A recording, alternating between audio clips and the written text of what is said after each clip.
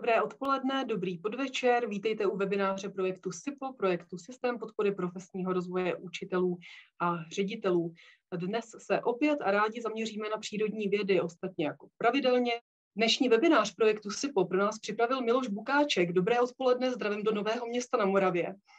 Hezký den, dobré odpoledne.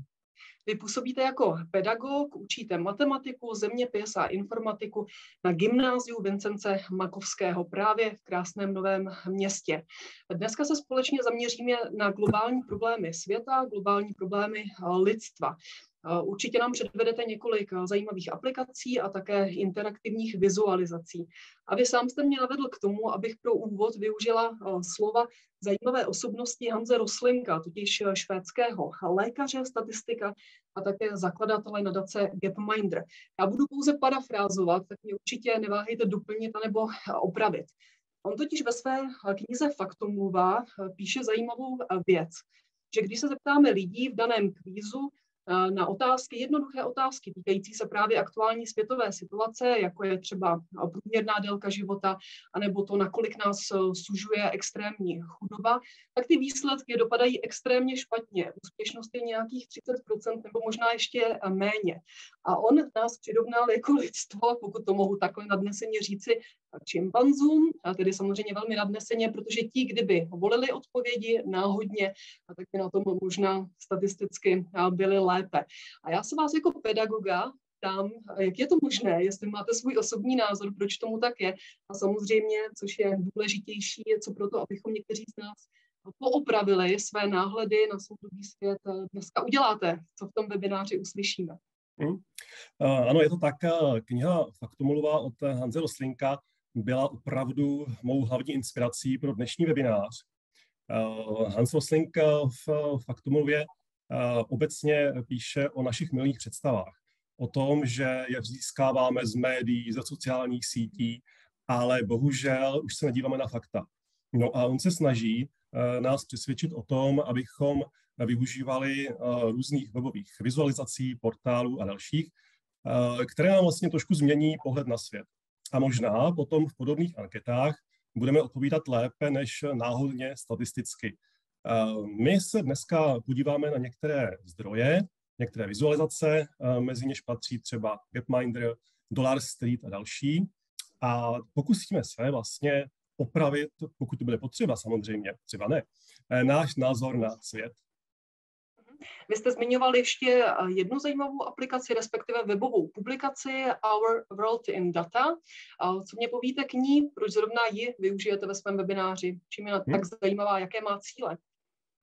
Eh, vizualizace z tohoto portálu Náš svět v datech eh, asi dneska uvidíme nejčastěji. Je to proto, že já osobně jej považuji za nejkomplexnější zdroj inform- informací o globálních problémech světa od zdraví přes obyvatelstvo, ekonomiku a spoustu dalších. Kromě toho, že tu najdeme krásné vizualizace ve formě interaktivních map, grafů, tak tu najdeme také rozsáhlé komentáře k těm grafům, což je obrovským přínosem a tento web je určitě skvěle využitelný pro žáky jak základních, tak středních škol. Já vás možná doplním, pevně věřím, že je využitelný ten váš webinář a také samozřejmě ten web i pro studenty, pro učitele mediální výchovy, informatiky, právě, že je to takové velmi zajímavě a přínosně multioborové.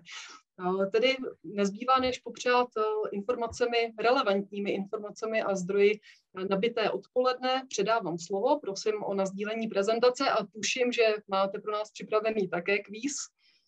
Přeju hodně štěstí ve vaší osvětě, ve vaší pedagogické činnosti a zase někdy na viděnou u webináře projektu SIPO a projektu Národního pedagogického institutu České republiky. Krásné odpoledne, děkuji za pozornost. Na úvod opravdu jsem pro vás návštěvníky dnešního webináře připravil dotazník. Ten dotazník se týká cílů udržitelného rozvoje OSN. Vy si ho můžete buď naskenovat do mobilu pomocí QR kódu, který vidíte na obrazovce, anebo vám do chatu za chviličku vložím odkaz, na který můžete přejít a ten dotazník si otevřít. Ještě než se do něho pustíme, tak taková krátká anketa na úvod. Dívám se, že tady je asi 70 účastníků. Poprosil bych vás, kteří jste někdy v životě slyšeli o tom, že jsou nějaké cíle udržitelného rozvoje OSN, jestli byste mohli zvednout ruku, abych měl představu, jestli jste to někdy vlastně slyšeli a zaregistrovali. Tak já vás tady asi 20, to znamená třetina. Třetina má představu o tom, že cíle udržitelného rozvoje máme. V roce 2015 v podstatě všechny země světa se k těmto cílům udržitelného rozvoje přihlásili a je jich celkem teda 17. A když to zjednoduším, vznikly proto, aby se nám na Zemi žilo lépe. Na jedné straně se odborníci podívali, jak to vypadá dneska v současnosti, a na druhé straně zkusili navrhnout, jak by to na Zemi mohlo vypadat v roce 2030. To je vlastně cíl. Mezi ty hlavní cíle patří například konec chudoby, hladu, kvalitní zdraví, ale i věci týkající se životního prostředí, ekonomiky a dalších, třeba klimatu. Tak pojďme na úvod na ten dotazník. Já věřím, že se vám povedlo buď využít ten QR kód, anebo jste si spustili a otevřeli ten link. A já bych na úvod poprosil o jeho vyplnění. Je tady celkem 17 otázek. Připravil jsem eh, ke každému tomu cíli OSN jednu, takže v rychlosti během dvou, tři minutek si ten dotazník projdeme a vás poprosím o odpovědi. První otázka.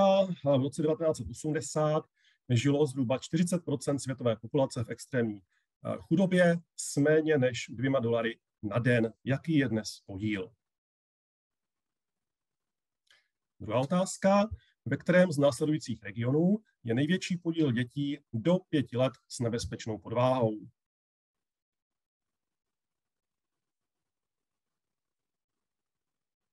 Třetí. Nízkopříjmové země měly v roce 1970 předpokládanou délku života 44 let. Jaká je nyní? Dále, Jaký podíl dívek v zemích s nízkými příjmy na celém světě chodil do školy alespoň do 11 let v době před pandemí?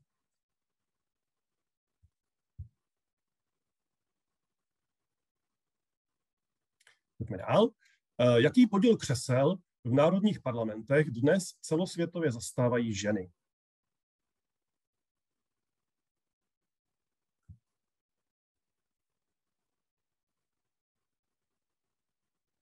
Další otázka. Eh, kolik lidí na světě má přístup k nezávadné pitné vodě u sebe doma nebo poblíž jejich domova?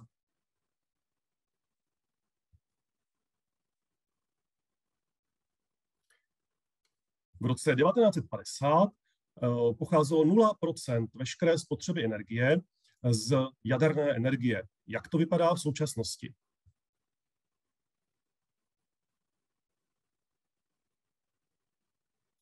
Další otázka. Eh, celosvětově je k dětské práci využíváno asi 160 milionů dětí. Eh, v jakém oboru většina z nich pracuje?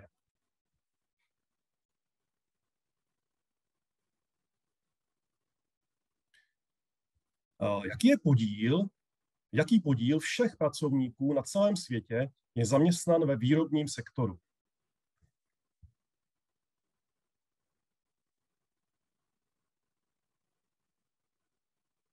Další otázka. Eh, v jaké části světa je příjmová nerovnost nejmenší, když měříme, kolik vydělává 10% nejbohatších ze všech příjmů? To znamená, kolik eh, připadne vlastně peněz těm 10% nejbohatších lidí v tom daném státě. Megaměsta jsou města s více než 10 miliony obyvatel. Jaký podíl světové populace bude v roce 2030 žít v megaměstech?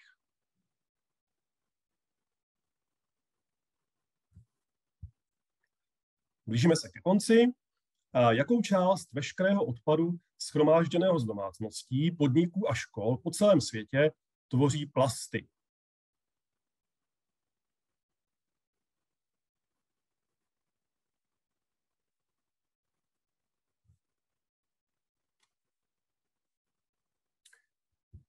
Kolik přebytečného tepla z globálního oteplování je zachyceno v oceánech?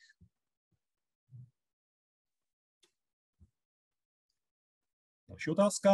Celosvětově lidé sní v průměru 6 kg hovězího nebo telecího masa ročně. Kolik ryb se průměrně skonzumuje na osobu? Jaký podíl zemědělské půdy na celém světě je využíván ke krmení zvířat?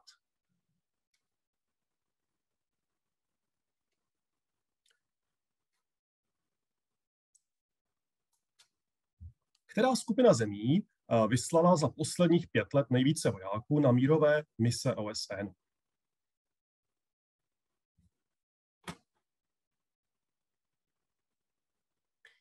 No a máme tady poslední otázku, sedmnáctou. Co se stalo v zemích s vysokými příjmy za posledních 40 let s nejvyššími hraničními daněmi z příjmů, které se vztahují na 0,1% nejbohatších obyvatel, to znamená, jestli ti nejbohatší měli ty daně vyšší, stejné nebo, nebo nižší. Takže to je dotazník. Pokud máte v aprobaci zeměpis, možná základy společenských věd a jste učitelé, tak máte možná určitou výhodu eh, proti ostatním, ale eh, většina těch otázek je spíš takových všeobecně zaměřených, eh, které, o kterých bychom asi jako učitelé obecně měli mít přehled. Tak já ten dotazník v tuhle chvíli opustím a vrátím se zpátky do své prezentace a než si ho projdeme, vyhodnotíme, eh, tak eh, se podíváme ještě na jeden obrázek, jednu vizualizaci. Eh, tady na tom obrázku vidíte, nebo grafu, vidíte na vodorovné ose počet dětí na jednu ženu, 2, 4, 7, na ose svislé je znázorněný eh, procento eh, dětí, eh, které se dožijí věku pěti let. Kolik procent dětí se dožije pěti let. No a pak tady vidíte rozdělení zemí světa. Každé kolečko je jedna země světa. Čím větší kolečko, tím větší počet obyvatel, tak tam dobře poznáte třeba Čínu nebo Indii. A pak je tu takovéto základní rozdělení, velké rodiny a mm, mnoho dětí v levé části, což jsou země, kterým se říká rozvojový svět často. No a vpravo nahoře eh, vidíte malé eh, rodiny, ale děti se tam potom dožijí poměrně vysokého věku, málo jich zemře. A, a to jsou země, které označujeme jako rozvinuté nebo vyspělé nejčastěji. A já se vás zeptám na začátek a poprosím vás, jestli byste mi mohli do chatu napsat to číslo, z jakého roku si myslíte, že pochází tady ten graf? Jo? Typněte si 2000, 2010, nebo třeba 1990, nebo něco úplně jiného. V jakém roce to vlastně vypadalo, nebo vypadá takhle? Tak zkuste mě to napsat nějaké roky, já se tady budu eh, dívat, co, co se bude objevovat, už tu máme nějaké typy, 2000, 2018, perfektní, zkuste ještě někdo, tak máme tam už i 1970 rok, 2020. Hezky je to velký rozptyl. Tak a pohybujete se většinou nad rokem 2000. Výjimečně tam máte, máte údaje starší. Tak díky moc za vaše tipy. Tady ten graf, a takhle to vypadalo na Zemi v roce 1965. To jsem ještě nebyl na světě. Takže vidíte, že eh, ty naše představy eh, o, té, o tom, jak to dneska vypadá, jsou poměrně zkreslené a byly v zásadě i moje. Ještě před pár lety, než jsem se trošku víc začal o tyhle informace zajímat. Ale eh, v zásadě za to může to, že jsme se něco naučili ve školách a to máme v hlavě a už si potom neaktualizujeme ty naše informace. Problém je v tom, že toto rozdělení světa se bohužel do dneška objevuje v řadě třeba učebnic, kde by to mělo spíš vypadat takto. E, protože dneska naprostá většina zemí se z té skupiny dříve rozvojových přesunula někam jinam, buď to mezi, anebo do té skupiny vyspělých. Všimněte si, že i v těch nejchudších zemích se více než 85 dětí dožije dneska už toho věku pěti let a že ten počet dětí se poměrně výrazně snížil i v těch zemích, řekněme, chudších. Tak to je na úvod, to je na úvod toho našeho dnešního tématu. A pojďme tady postupně k jednotlivým otázkám k, z tématu cílů udržitelného rozvoje OSN, které si vyhodnotíme a vyhodnotíme si je na základě různých stránek webových, kde najdeme vhodné vizualizace. První otázka se týkala chudoby. S tím, že v roce 80 žilo zhruba 40% světové populace v extrémní chudobě, to znamená, měli méně než 2 dolary na den. Jak je to dneska? No dneska se tohle číslo pohybuje kolem 10% Pojďme se podívat nejprve na to, jak jste odpovídali vy v tom dotazníku. Mám tady skoro 40 odpovědí, takže tu správnou, to znamená 10% z vás zvolilo asi, asi 20% takže jedna pětina, jedna pětina z vás. Pojďme se podívat zpátky na zdroje dat a vizualizací, kde si to můžeme ověřit, jak to dneska vypadá. Prezentaci, kterou vám pouštím, tak vy jako účastníci webináře dostanete. A snažil jsem si připravit tak, abyste ji mohli opravdu vzít a potom ve škole, pokud jste učitelé, promítnout žákům, včetně toho dotazníku třeba, a ukázat právě ty výsledky a potom také ty vizualizace. Na tomto snímku vidíte tři z nich. Gapminder, Dollar Street a náš svět v datech. S těmi se dneska budeme setkávat nejčastěji, protože ty považuji asi za nejlepší zdroje dat do výuky. To první je aplikace Gapminder, která právě pochází od Hanze Roslinka a jeho kolegů, kteří ji vytvářeli a vytvářejí do dneška. Graf, který jsem vybral, tak ukazuje na oslevodorovné příjem v dolarech na den. A e, na ose svislé jsou potom znázorněné jednotlivé státy, e, barevně ještě odlišené kontinenty nebo oblasti, regiony světa. No a vlastně plocha toho, e, toho daného grafu označuje počet, počet obyvatel. Svislá osa označuje hranici extrémní chudoby, která je definovaná tím číslem asi 2 dolary na den. Takhle vypadala situace v roce 1965. Pokud si pustíme animaci, tak uvidíme, co se stalo a co se změnilo. Já to ještě zastavím tady v těch 80. 90. letech na začátku, eh, protože tady vidíme stále, že svět byl rozdělený vlastně na dvě skupiny. Na ty chudé, hodně z nich pod hranicí chudoby, 40%, a na ty uh, bohaté. Nicméně od té doby se stala poměrně zásadní věc. Uh, naprostá většina obyvatel i z těch nejchudších zemí se přesunula z té nejnižší příjmové úrovně do té střední.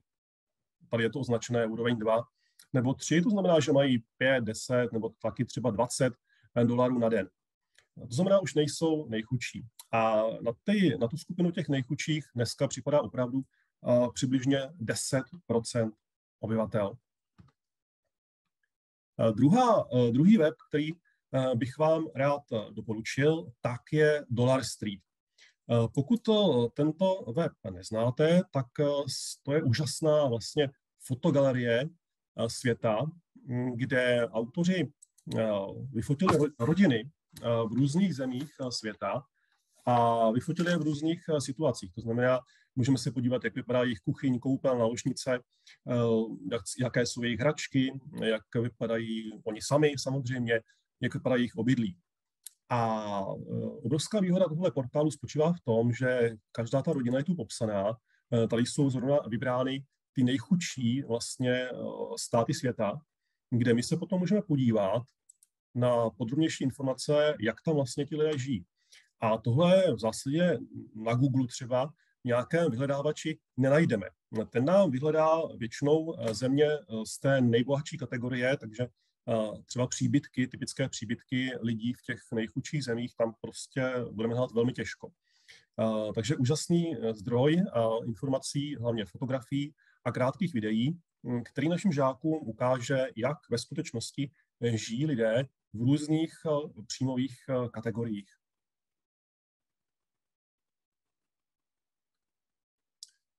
Třetí web, náš svět v datech, jsem už trošičku představil na úvod. Ten je takový nejkomplexnější, řekněme. Je opravdu velmi rozsáhlý, stojí za ním Oxfordská univerzita. A jak jsem říkal, kromě grafů a vizualizací, tak tady najdeme také velice podrobné informace k jednotlivým tématům. Proto je tento web vhodný například pro zeměpisné semináře nebo semináře do jiných předmětů, kde žáci najdou spoustu vysvětlení doplňujících k daným tématům. Je sice v angličtině, ale dneska ten eh, automatický překladač funguje už velmi dobře, takže eh, ani, asi ani není problém, eh, že to není, není vlastně český web. Tady na ukázku se můžeme podívat na jeden graf z tohoto webu, náš svět v datech, který ukazuje absolutní vlastně počet lidí žijících v extrémní chudobě, Eh, můžeme si vybrat i konkrétní regiony a podívat se na to, jak eh, se eh, to měnilo v čase v tom daném regionu. Případně můžeme samozřejmě i na další grafy, kterých jsou to opravdu stovky. Pojďme dál. Druhá otázka se týkala hladu. Ptal jsem se vás, ve kterém z následujících regionů je největší podíl dětí do pěti let s nebezpečnou podváhou. No a správná odpověď je Jižní Asie. Podíváme se na vaše výsledky. Tak tady. Jižní Asie eh, odpovědělo poměrně málo.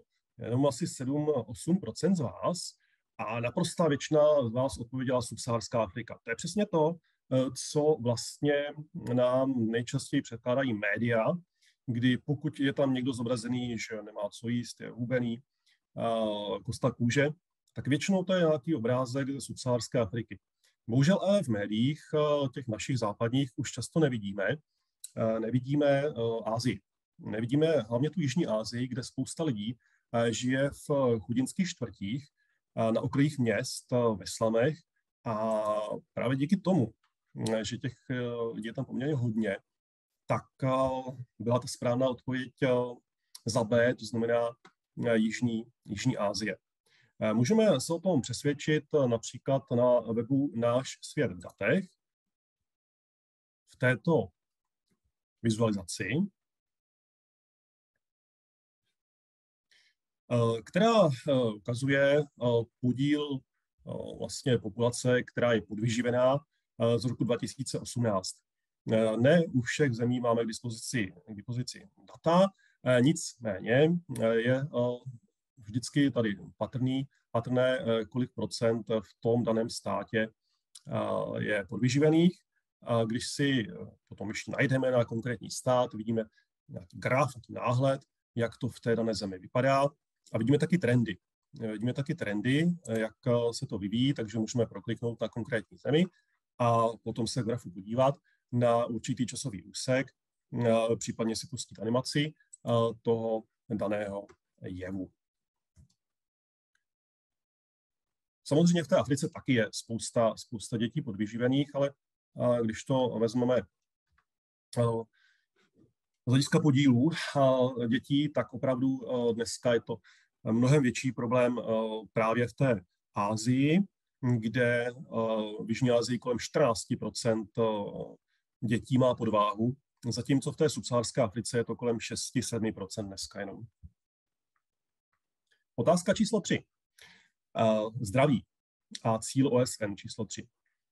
Nízkopříjmové země měly v roce 1970 předpokládanou délku života 44 let, ty nejchudší státy. Jak to je dneska? Tak dneska, dneska je to 60 let. Podíváme se opět na vaše odpovědi. Tak. Správná odpověď 60 let Typlo si to 12% z vás a většina typovala tu zlatou střední cestu, to znamená 50 let. Ten pokrok byl poměrně velký, ono už uplynul nějaký čas od, od 70. let a i v těch nejchudších zemích došlo k poměrně jako zásadním změnám, hlavně ve zdravotní péči. A díky tomu se naděje na dožití zvýšila. Hlavní důvod asi lze přičíst nižší dětské umrtnosti díky lepší zdravotní péči. Pokud se podíváme na tuto animaci z GetMinderů, která ukazuje na ose svislé naději na dožití a na ose vodorovné příjem, ještě závislost na příjmu, tak zase každé kolečko představuje stát, barevně potom region, tak zase můžeme pozorovat, k jakým změnám docházelo a hlavně se můžeme zaměřit na ty nejchudší státy, to znamená Afriku, modrá kolečka, případně Jižní Asii, ta růžová. A vidíme, že ten trend byl ve všech zemích stejný. To znamená, jak v těch bohatých, tak v těch chudých došlo k tomu, že naděje na dožití poměrně výrazně se zvýšila.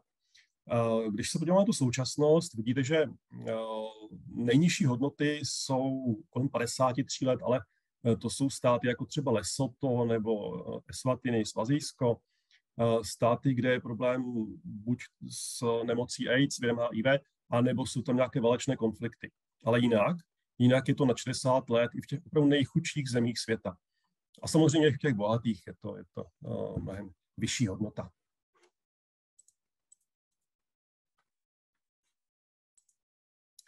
Jdeme dál. Otázka číslo čtyři eh, se týkala kvalitního vzdělání. Jaký podíl dívek v zemích s nízkými příjmy eh, na celém světě chodil do školy aspoň do 11 let? Tak eh, správná odpověď je kolem 60% v těch, i v těch nejchudších, nejchudších zemích. Opět se podíváme na výsledky vaše, jak jste povídali, takže 60% si typlo asi 17% z vás.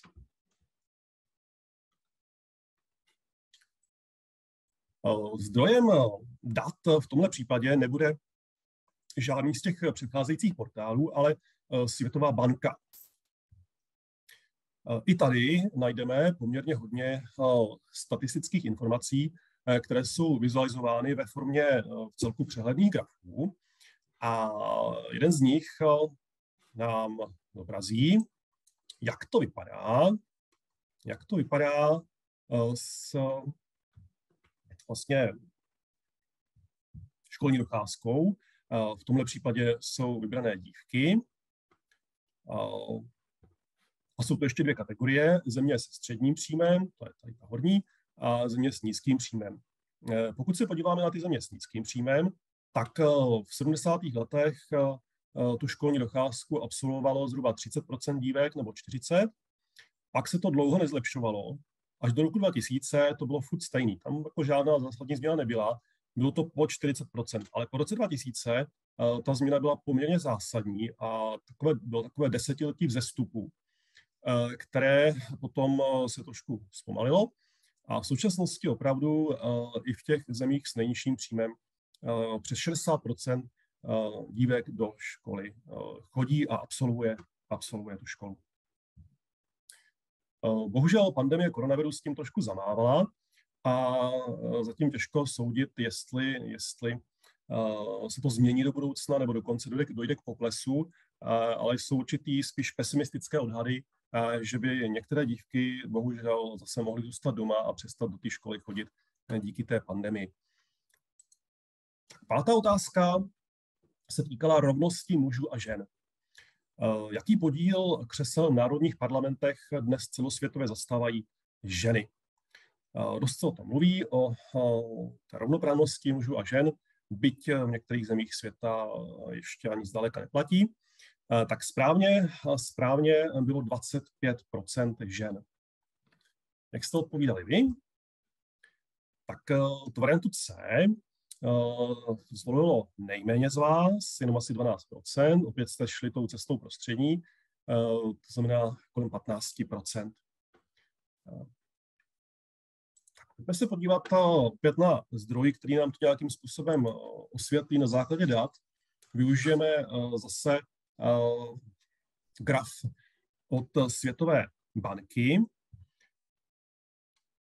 kde poměrně hezky vidíme, že ten podíl žen obecně v národních parlamentech různého typu se od roku 2000 celkem intenzivně zvyšoval.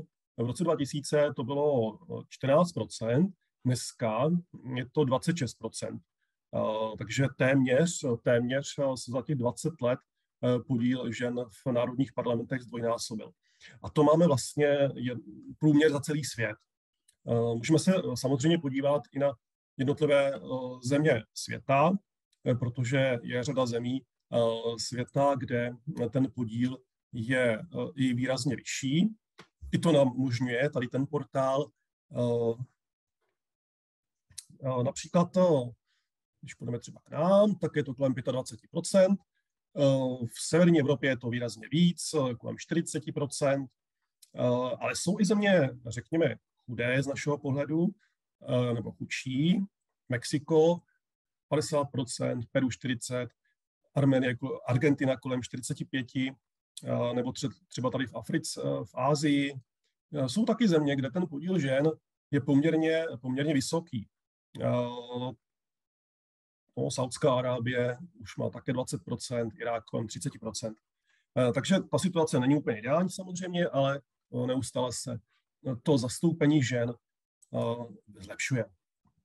Šestá otázka se týkala pitné vody a hygieny obecně.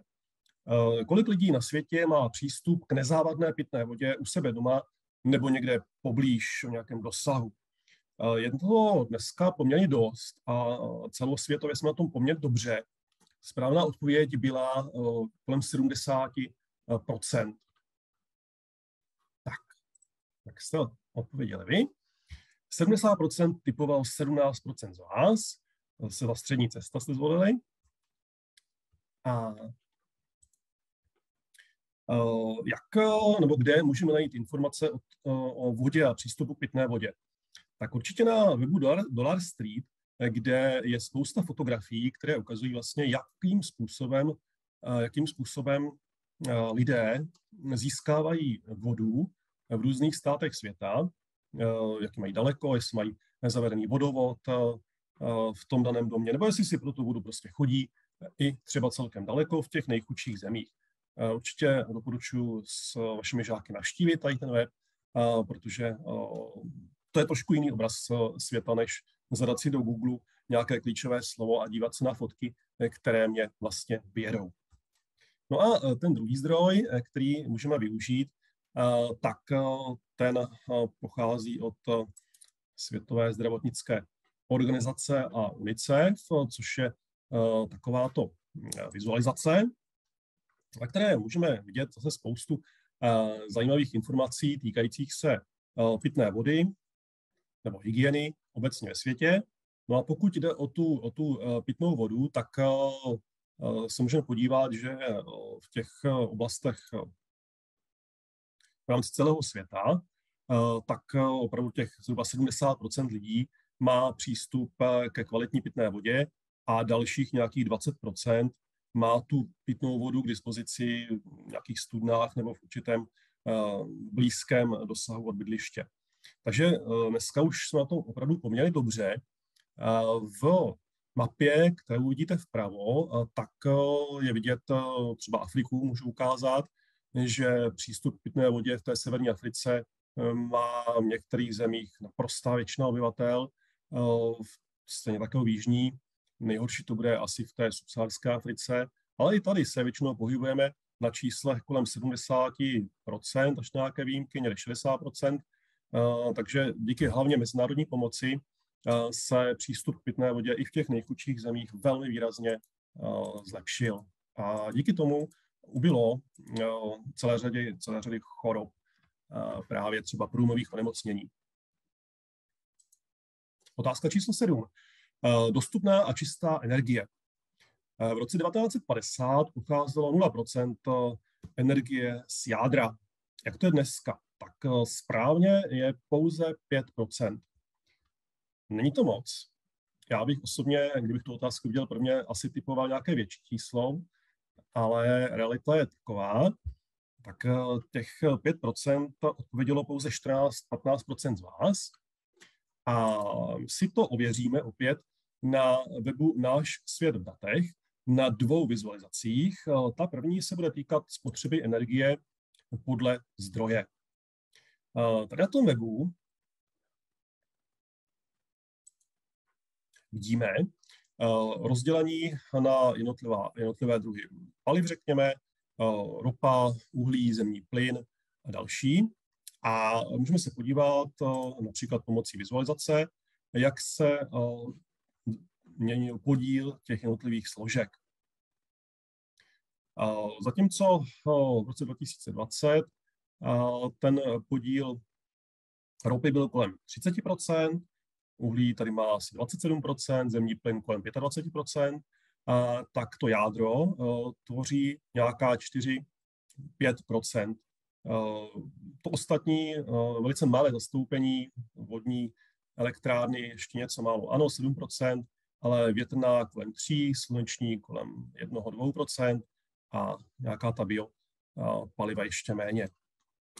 A ten druhý graf, ten se bude týkat přímo jádra, to znamená jaderné energie opět z webu Náš svět v datech, kde eh, můžeme vidět eh, u jednotlivých zemí, jaké je zastoupení eh,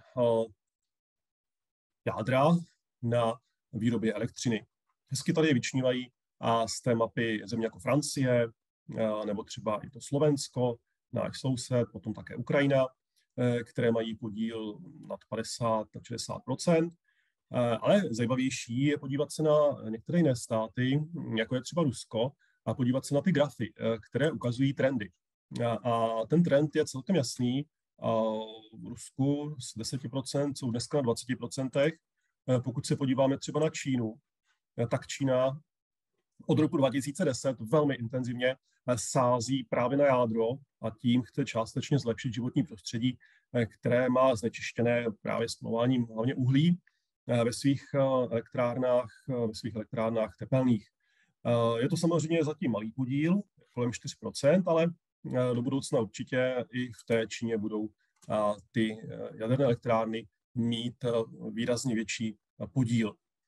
Zajímavý, zajímavé je také Japonsko, kde zřejmě po té jaderné katastrofě byl výrazný odpor veřejnosti, zejména vůči jaderným elektrárnám, ale ale hm, ta situace se samozřejmě časem mění, protože přeci jenom je to jeden ze zdrojů, který je eh, relativně výhodný z hlediska vlastně klimatu eh, a vlivu na životní prostředí.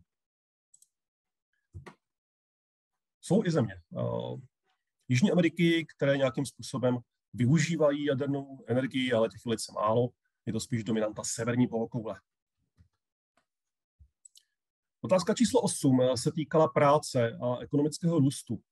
A celosvětově je k dětské práci využíváno asi 160 milionů dětí. Eh, otázka je, v jakém oboru eh, většina z nich pracuje. Tak v médiích většinou vidíme děti v nějaké továrně, nicméně naprosto většina z nich pracuje v zemědělském sektoru. Tak vy jste Eh, si to zemědělství vybrali taky, musím vás pochválit, 70% z vás vybral zemědělství. Eh, je to dáno eh, tím, že zemědělství sice jako nevidíme přímo v těch médiích, spíš, to, spíš vidíme nějakou továrnu, kde ty, kde ty děti pracují v nějakých špatných podmínkách, ale většina těch chudých zemí zaměstnává poměrně velké procento lidí v zemědělství a ty děti potom pomáhají například svým rodičům což lze částečně také hodnotit jako dětskou práci. Ve službách pracuje kolem 20% asi a na průmysl připadá asi 10%. 70% dětských pracovníků připadá na zemědělství. Můžeme se na to podívat a ověřit si to na webu Náš svět v datech, kde vidíme je tak trendy a rozdělení také na chlapce a dívky, kdy to procento u chlapců je maličko větší než u dívek, ale velký rozdíl to není.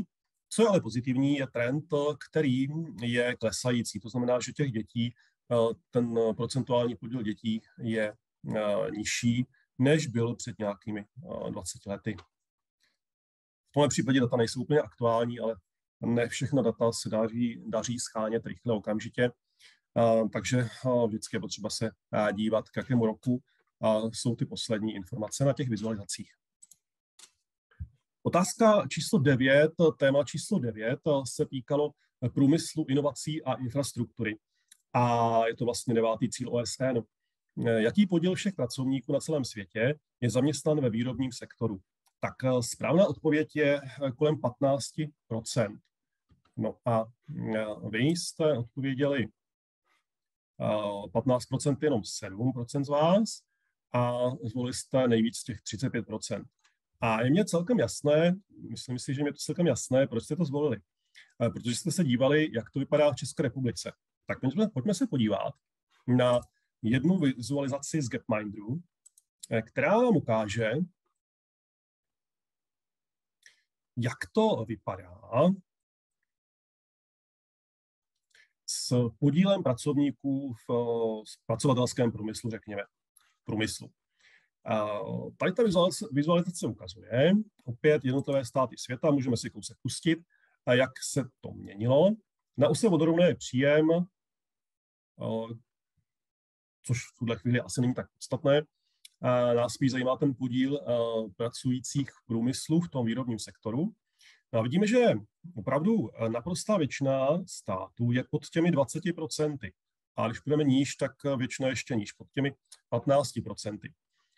Pokud půjdeme do extrémů, tak tady nám vyskočil Turkmenistán nahoře, ale potom ten druhý extrém je Česká republika.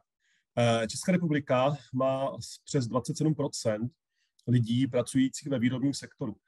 Takže my jsme opravdu země výrazně zaměřená na, na, na ty výrobny, na ty montovny v uvozovkách a poměrně málo lidí tady pracuje v tom terciálním sektoru, v těch službách. A s tím právě můžeme mít eh, problémy díky covidu a následné nějaké ekonomické krizi, eh, jakmile vlastně eh, přestane být odbyt těch našich výrobků. Takže to, to mě osobně velmi, velmi překvapilo, že jsme jeden ze států světa, ve kterých nejvíc lidí, nebo ve kterých je největší podíl lidí pracujících v tom, v tom průmyslu, zpracovatelském výrobním sektoru. Jsme daleko výš nad Čínou a řadou dalších zemí. Desáté téma mm, se týká snížení nerovností. A otázka byla, v jaké části světa je příjmová nerovnost nejmenší, když měříme, kolik vydělává 10% nejbohatších ze všech příjmů. Správně je Evropa. Tady pořád ještě ty rozdíly mezi bohatými a chudými nejsou tak velké, jako v některých jiných, v některých jiných regionech světa. Pojďme se podívat na vaše odpovědi. Vy jste tu Evropu taky zvolili jako nejčastější odpověď, kolem 60% z vás. Můžeme si to ověřit opět pomocí jedné z vizualizací. Konkrétně to bude databáze nerovností, která ukáže za chviličku, až se nám tady objeví, jak to s těmi vlastně uh, příjmy v jednotlivých zemích vypadá. Já si to mapu trošičku zvětším. No a vlastně tady to nám ukazuje, uh, kolik procent příjmů připadá na 10% nejbohatších lidí v té dané zemi.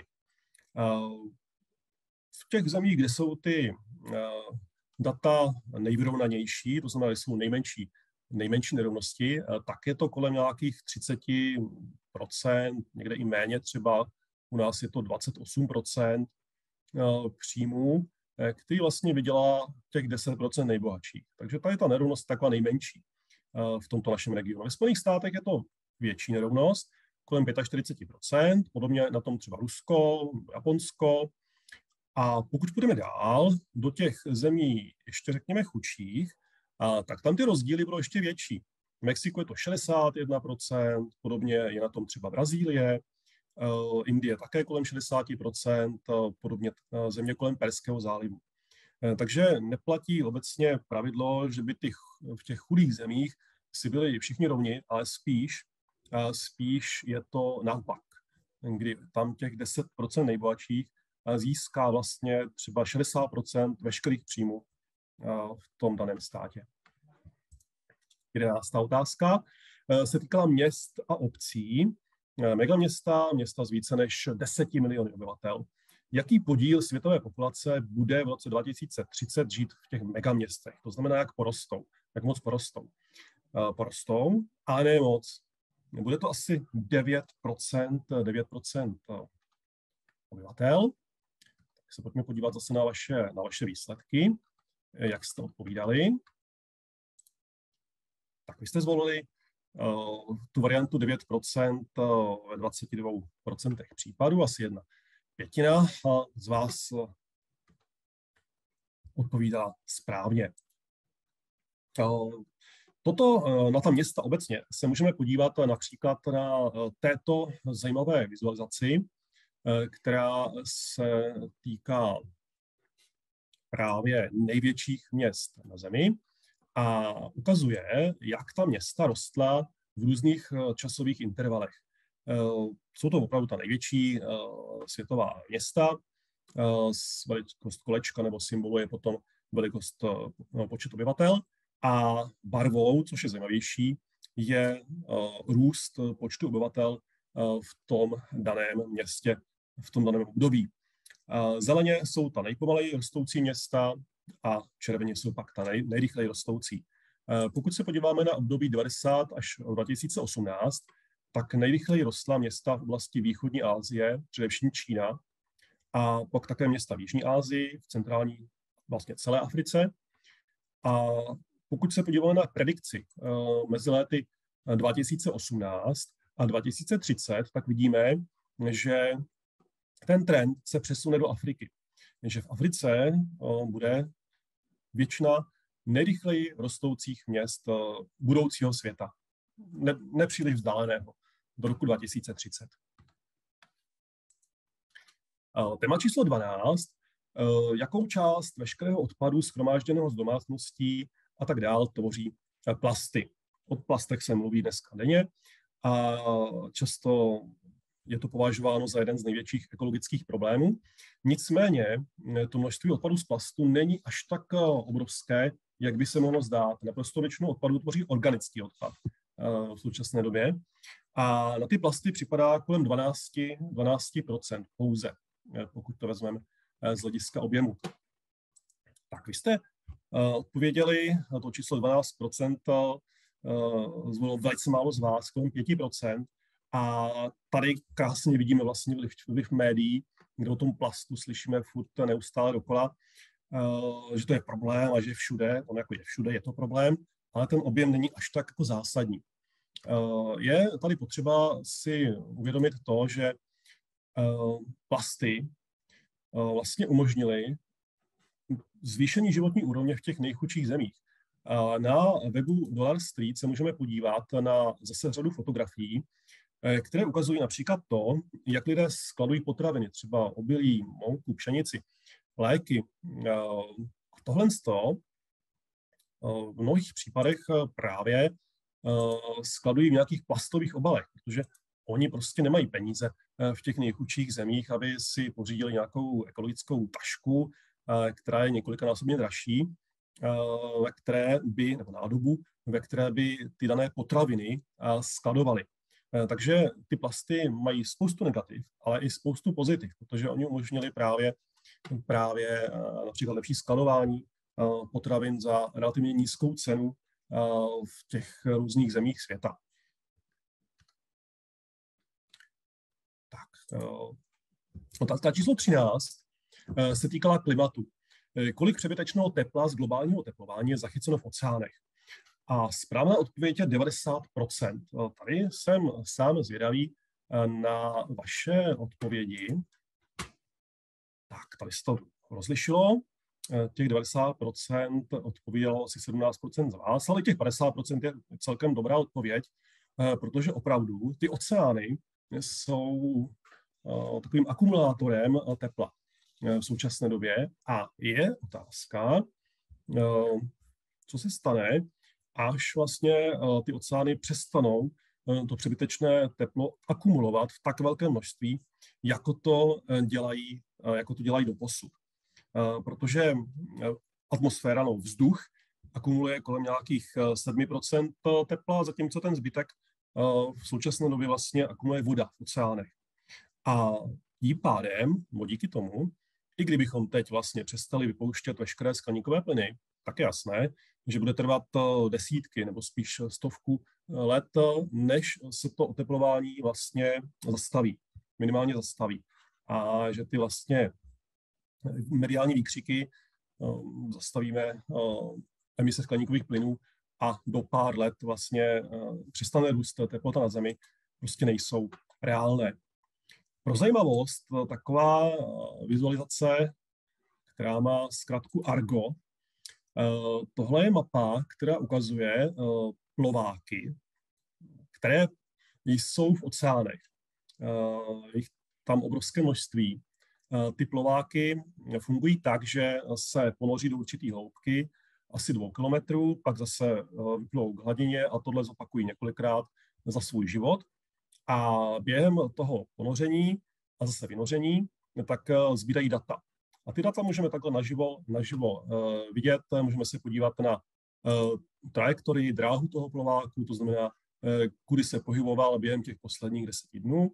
A můžeme se podívat také na, na data, která schromažďují, mezi něž patří především teplota mořské vody, slanost mořské vody a některé z nich i některé další, další parametry. Takže i tohle dneska můžeme vlastně naživo ukázat našim, našim žákům na uh, tomto zajímavém webu. 14. otázka se týkala života ve vodě. Uh, celosvětově lidé sní asi 6 kg hovězího masa. Uh, kolik ryb skonzumují průměrně na jednu osobu? I mě překvapilo, že je to větší číslo. Správně je 10 kg, tak vy jste odpovídali. Poměrně málo z vás si typlo těch 10 kg, možná protože nejsme zemí, která by měla moře a u nás ty ryby nejsou nějak zvlášť oblíbené. Nicméně realita je velmi zajímavá. Můžeme se o tom přesvědčit na webu Náš svět v datech, který ukazuje, můžeme se podívat na mapu nejprve, Eh, který ukazuje stav v roce 2017, kdy eh, jsou země, samozřejmě ty oceánské, přímořské, eh, kde to množství je obrovské, třeba 50 kg, 45 kg v Japonsku, ale zajímavé jsou hlavně ty trendy v těch chudších zemích. Podívejme se třeba, Čína není úplně, není úplně chudá země, Indie, ano, ta je trošku chudší, ale obě to mají stejně. Pokud se podíváme na ty náhledové grafy, eh, tak eh, v případě třeba, můžeme si vybrat třeba tu Čínu, eh, tak v případě Číny ten nárůst nastal od počátku 90. let, kde to bylo 10 kg, a dneska je to přes 30 kg rybího masa na osobu. A ty ryby, pokud se podíváme na trendy, tak živí poměrně hodně lidí, i v těch chudších, chudších státech světa. Třeba Myanmar, opět kolem roku 2000 obrovský vlastně nárůst konzumace toho rybího masa. Což je dáno asi tím, že ryby se dají nejen lovit, ale v zásadě to se dají i chovat a tím pádem tedy ti lidi mají relativní dostatek toho rybího masa ke konzumaci. 15. se týkala života na souši, eh, kde eh, jsem se ptal, jaký podíl veškeré zemědělské půdy je využíván ke krmení zvířat. Správně je kolem 80%. A vy jste odpovídali uh, trošku jinak. 80% řeklo 12% z vás pouze. No a je to zase možná daní tím, že si to zemědělství, to krmení zvířat představujeme vlastně jako vedlejší odvětví vedle té rostlinné výroby, ale ty pastviny, e, ty pastviny zaujímají opravdu největší, největší vlastně plochy, které jsou využívány pro zemědělství. Díky tomu se kácí dneska tropické dešné pralesy A tady vidíme na tomto grafu, že opravdu ten podíl, ten podíl je největší v případě těch, těch pastvin pro zvířata. 16. otázka, 16. téma se týkalo míru spravedlnosti na Zemi a otázka byla, která skupina zemí vyslala za posledních pět let nejvíce vojáků na mírové mise OSN. Je možná překvapující, že pokud se podíváme na počty, tak to nejsou ty nejvyspělejší země světa, ale jsou to ty chudší země světa. Bčko byla správná odpověď a vy jste to Bčko typovali v úplně nejmenším procentu 2,4%. No a pokud se podíváme na nějaký důkaz, který nám předloží fakta, tak na webu Gapminder se můžeme podívat, jak to bylo v roce 2020. No a vidíme tady, že peacemakers, to znamená vojáci v těch mírových silách OSN, tak těch opravdu bylo nejvíc, například v Indii, Bangladeš, z Indie, z Bangladeže, z Etiopie dokonce, z Nepálu, z Pákistánu. A ty vyspělé země, tak ty spíš se zaměřovaly spíš na ty, řekněme, bojové mise, než na ty, než na ty mise mírové. No a poslední otázka eh, se týká opět eh, příjmů. Eh, to znamená, co se stalo v zemích s vysokými příjmy za posledních 40 let s daněmi pro ty nejbohatší. Jestli těm nejbohatším se ty daně zvýšily, snížily, anebo zůstaly stejné. Realita je taková, že byly sníženy o jednu třetinu. Jako máte představu vy? Tak vy jste se taky rozdělili a to snížení o jednu třetinu typovalo 20% z vás, nebylo to teda nejvíc z vás.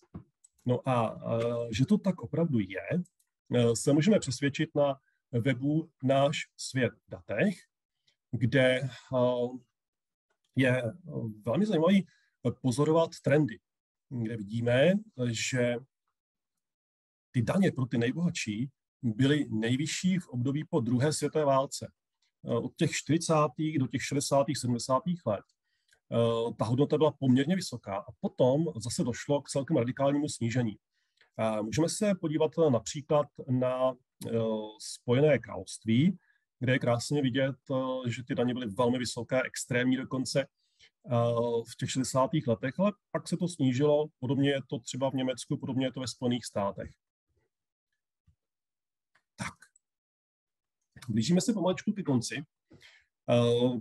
Pověřili jsme si eh, všichni společně, jaká je naše představa o světě a jak to ve skutečnosti na světě vypadá. Pokud eh, chcete eh, něco podobného předat žákům, určitě využijte minimálně tyhle tři weby, Getminder, Dollar Street a náš svět v datech a zkuste jim vlastně ukázat nejlépe formou nějakého dotazníku na začátku, jestli ta jejich představa se shoduje opravdu s tou skutečností. Současně doporučuji všem, abyste si přečetli, možná i vaši žáci, eh, knihu Faktumluva od Hanze Roslinga, eh, která opravdu i eh, můj pohled na svět poměrně výrazně změnila. No a pokud se budete cítit silní v kramflecích, tak si můžete vaše znalosti o globálních problémech světa Eh, konkrétně o cílech OSN, otestovat na tomto webu. Odkaz vám dám do chatu, abyste to mohli využít po skončení tohoto dnešního setkání, protože tady ke každé otázce máte k dispozici šest, nebo každému cíli.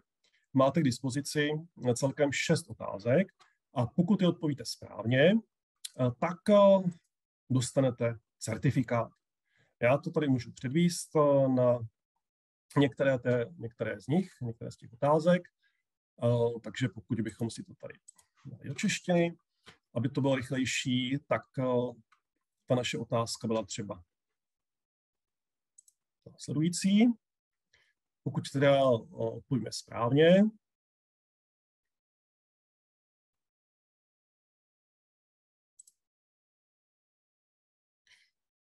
tak můžeme pokračovat dál.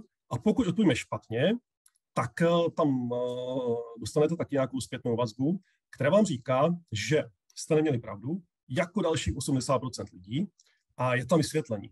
A to vysvětlení je úžasné, protože ono říká, těm vašim žákům i vám samozřejmě, proč, proč se v tom milíte.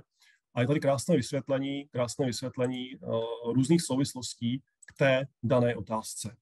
Takže zkuste, zkuste, pokud vás tohle téma zajímá, projít si tady ten test znalostí, znalostí o světě. No a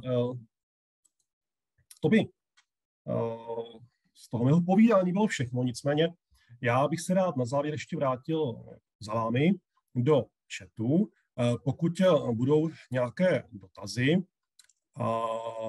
nebo případně nějaké komentáře z vaší strany, na které by bylo vhodné odpovědět nebo zareagovat, tak tady píše jeden z vás nějakou polemiku s faktomluvou a vysvětluje tady vlastně, že to je zacílené jednostranně, což určitě samozřejmě je vždycky, vždycky je to názor toho konkrétního autora. Eh, každopádně eh, důležité je asi eh, těm dětem, těm dětem říct to podstatné, aby rozlišovali mezi tím, co jim dávají média, co jim dávají sociální média a jak to vlastně ve skutečnosti na zemi, na zemi vypadá. A k tomu ta knížka určitě, určitě přispěla nebo přispěje. Byť je v některých ohledech možná třeba kontraverzní. Pokud se týká té, té chudoby, tak ano. Tady je otázka, jestli hodnota dvou dolarů v roce 1980 je stejná jako dnes. To číslo je pořád stejné, nicméně počítá se to vlastně k paritě kupní síly. To znamená, co si ten člověk může za ty dva dolary koupit v té dané zemi. No a jak se dá pracovat s těmi weby, jestli je někde návod v češtině nebo video, tak nějaký speciální návod, kde by bylo napsáno nebo nějak popsáno, co na tom konkrétním webu najdete, zřejmě asi není, možná nějaké, nějaké digitální učební materiály na některých metodických webech by byly k nalezení. Uh, nicméně všechny ty weby, aspoň ty tři hlavní, které jsem prezentoval, uh, Gapminder, uh, Dollar Street, jsou poměrně intuitivní, jsou to vlastně grafy, kde si pouze vyberete téma, které vás zajímá, případně státy, které chcete vizualizovat a potom už vlastně jenom procházíte. Problém by mohla být angličtina, ale jak jsem ukazoval, vlastně pokud si zapneme automatický překladač, tak naprosto většině nám to přeloží celkem, celkem si myslím srozumitelně. Tak, eh, byl to takový průlet, eh, průlet eh, několika tématy. Pokud už z vaší strany nejsou žádné další dotazy, vypadá to, že ne, tak bych vám rád poděkoval za účast na dnešním setkání. A jak jsem říkal na úvod prezentace, i video by mělo být k dispozici všem účastníkům dnešního workshopu a video samotné eh, bude potom zveřejněné na webu.